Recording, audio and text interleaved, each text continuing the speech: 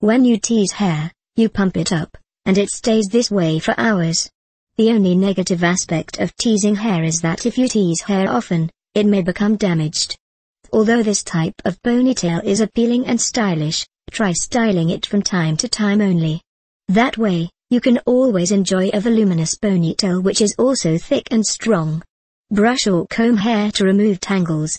Take a 1-inch section of hair towards the middle of the crown of your head and hold it up. Comb through it to smooth it. Then tease it, take your comb and move it up and down rapidly, moving towards the scalp.